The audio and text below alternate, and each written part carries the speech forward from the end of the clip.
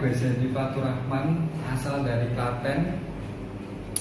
Kesan-pesan yang saya dapat dari sini, kesannya saya merasa senang bisa belajar di sini karena bisa bertemu dengan orang baru, teman baru dan juga guru baru yang punya sifat dan pengalaman yang berbeda sehingga saya bisa bertukar informasi, pikiran dan juga pengalaman.